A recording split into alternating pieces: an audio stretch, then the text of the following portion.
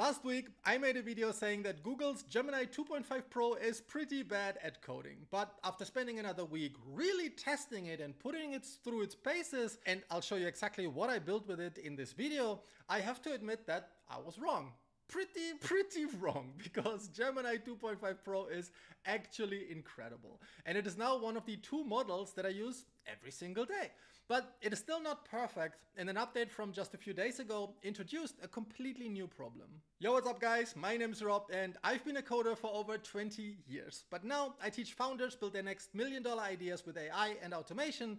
And today I'm gonna admit that I was wrong and I'm gonna show you how. So in my comparison between the two, Gemini 2.5 Pro and Claude Sonnet 3.7, I let the AIs battle it out in a dystopian AI website competition. And in it, Claude absolutely crushed it while Gemini kept running in circles. But here's the thing. Without knowing it then, I was trying to make Gemini do something that it's just not good at. And after a full week of additional testing, I learned why. But before we get into that, there's something massive that has just changed. Because until literally just a few days ago, you couldn't actually pay to use Gemini 2.5 Pro, which meant that you were stuck with Google's free usage allowances. And if you were coding anything bigger, then, you know, just a couple of tests, which I definitely did, then you would hit these limits very fast. And I did. I had to like circle through like several private and business accounts to get like higher limits to actually use Gemini. But this has now changed. So you can now pay for unlimited usage. And this is where things get kind of weird. So let me show you the actual pricing because it is really important to understand that the pricing on paper might not actually be the pricing that you end up paying. So I'll explain to you what tokens means in just a second, but just for the comparison's sake, look at this. So the Claude 3.7 Sonnet model charges $3 per input and $15 per output. The Gemini 2.5 Pro model has two pricing tiers based on the number of tokens that you require, and I'll, I'll explain that in a second. But in comparison, if you stay under 200,000 tokens, it would be 125 instead of 3 per input and 10 per output, which would mean it's less than half the price that Claude Sonnet 3.7 charges for the input and about a third less for the output. And even if you go over 200,000 tokens, it is still a bit cheaper, $2.50 versus $3 for the input and $15 for the output would be the same as Sonnet 3.7. And here's what the tokens really mean, right? So everything you ask it, and critically important, everything that you ask it to remember throughout a conversation is the input tokens. And the output tokens, it's its answers. So that includes everything, you know, that it instructs you to do or all the code that it generates. So for inputs and outputs under 200,000, it would charge you the lower tier, and for everything above 200,000, it would charge you the higher tier. But here's the thing. Either way, you should save money with Gemini 2.5 Pro because even if you use more than 200,000 tokens, the maximum price that you were supposed to pay is 250 and 15, which is still slightly cheaper than 3 and 15. But unfortunately, this is not true. And this guy on the ChatGPT coding Reddit had to learn that the hard way because he was charged over $500 for one day of coding. And this actually makes sense because there's a huge difference between Sonnet 3.7 and Gemini 2.5 Pro. And that again comes down to the token context windows. Gemini 2.5 Pro has four times the amount of memory that Sonnet 3.7 has.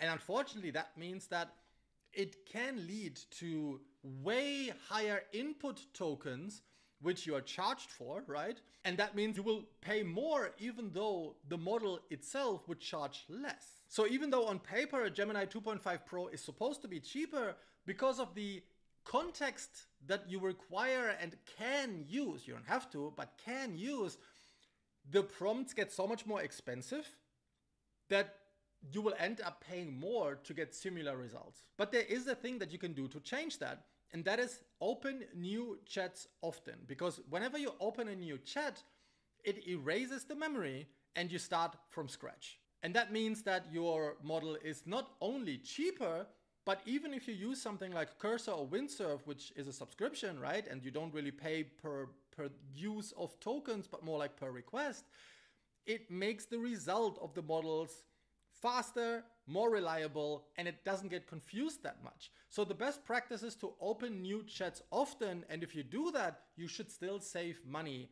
even if you use Gemini 2.5 Pro. And this is even more applicable if you use something like Cline or Roo Code, because then you pay per token. And that means that if you just have one chat with like lots of context or memory, you will end up like this guy paying hundreds of dollars per day. But with that out of the way, let's look at what Gemini is actually great at. Because I have discovered that it is really good at analyzing large code bases and making big changes like adding new features to big projects. So let me show you a quick example. So I have recently launched a product. This video is not about this. It's just something that I'm very proud of and something that I've built exclusively, almost exclusively with Gemini 2.5 Pro, right? So this is a sales page. Starting at the top, this page has dynamic pricing, which means that every few sales, the price goes up. It helps me understand how much to actually price this product because I didn't know what to price it for, right? And you can see it has like say $50, 17%, early bird pricing increases to this price in 24 sales. This is not some like made up stuff. This is actual logic that happens in the backend where I track the sales and then say, okay, how many sales are there in each bracket and when the price goes up automatically, all of this stuff, right? Which was really fun to build with Gemini. And then when we scroll down, you see there are some like pricing tables and the design, just to get this out of the way, all the design I always did with Sonnet 3.7 and I'll get there in a minute but all the logic is done by Gemini. So here, for example, you can like see that there were like previous pricing tiers, right? So there was like 97, 147, 197. And this whole logic of like them being sold out, or again, here it shows like 24 spots left, 17% off, right? Here's like the full price. This also, it looks like this is a static text. It's not. Like this, this, this number, $50, it changed with every bracket. And then another really powerful feature is this. So this is a brand new product. I don't have any testimonials yet, right? So I wanted to take some of the really nice YouTube comments that some of you leave under these videos and put them there to like build some trust, right?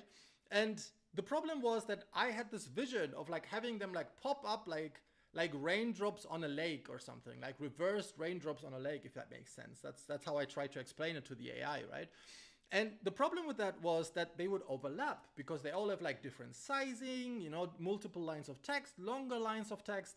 And I needed to find out a way to display them, to let them like pop up without them actually overlapping because then people wouldn't be able to read it. So Gemini went deep and started cooking really hard, right? They it it was like way overcomplicating things, but it was really interesting to watch because it would propose different like different ways to, see available spacing to make it more likely that things wouldn't like pop up and what. It took me an hour and a half to make this feature.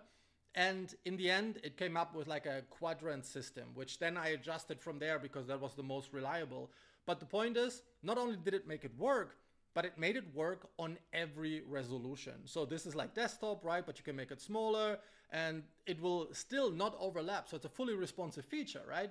And you can even like, even on the phone, you can still see it. It works. So this was really impressive and Gemini did that. But again, Gemini is not yet perfect. It still struggles to create beautiful things. So for me, having, for example, this hero section up here, that the video would be a bit further out and, you know, have everything like designed and whatever, I had to resort to Sonnet because Gemini Wow, Gemini is so bad at making anything look good is wild. So Claude still is the uncontested king when it comes to designing things. All of what you see here, right, I did with Sonnet and then the underlying logic was Gemini.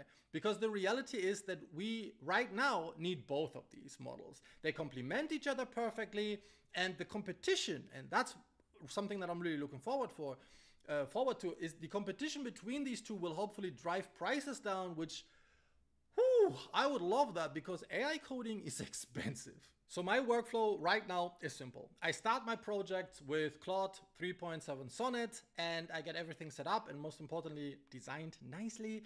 Then I switch to Gemini 2.5 Pro for most of the actual development work. And I often start new chats when a task is done because otherwise you will end up paying more with Gemini and we don't want that, right?